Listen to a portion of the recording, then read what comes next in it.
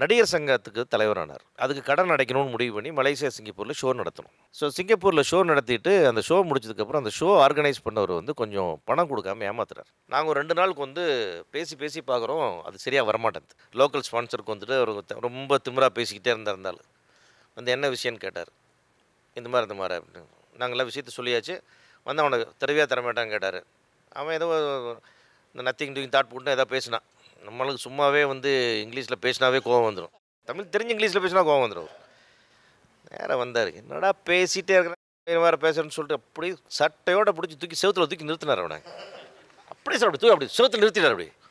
அவ்வளோ வீலுகள் கத்துறான் மிஸ்டர் விஜயகாந்த் சுற்றிலும் கேமரா இருக்குது. அப்போ அப்போவே சிசிடிவி கேமரா இருந்தது சிங்கப்பூரில்.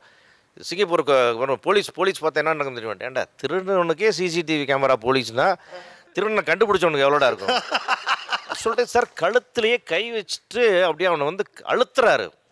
தருவியா தரமாட்டேன் சொல்லி தர்றேன். போய் தானே சொன்ன போய் தானே. திருண்ணி ஆமா திருண்ணேன் இத்தனையும் சொன்னதுக்கப்புறம் கேள்வி விட்டார் அவனை இப்படி அவருடைய ட்ராவலில் நீங்கள் எடுத்தீங்கன்னா அவர் அவருடைய வீரத்துக்கு துணிச்சலுக்கு நல்ல மனுஷனுக்கு அதே மாதிரி நீங்கள் வந்து நீங்கள் இந்த நீங்கள் சர்வே மாதிரி இடத்துல மைக்கை தூக்கிட்டு நீங்கள் தமிழ்நாடு பூரா சுற்றுங்க ஒரே ஒருத்தன் விஜயகாந்த் கெட்டவன் சொல்லிடுறோம் சொல்ல முடியாது.